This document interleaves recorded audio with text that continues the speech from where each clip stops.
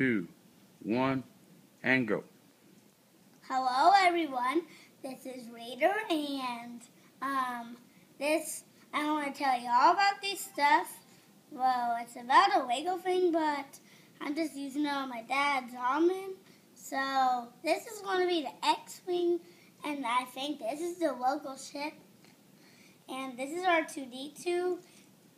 Uh, I don't know these guys' names because I forgot, so I just call them R2s. And I don't know this guy's name. I know that. No.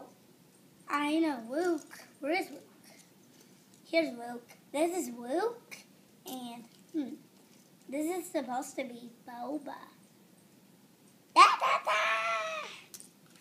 This is like a super droid. Blah, blah, blah, blah. Wait a minute. I think one of the parts fell out. Fall off. Okay, you want to sign off for now? Well, I'm not. And this is General Droid. And this is Grievous Droid. hmm And this is.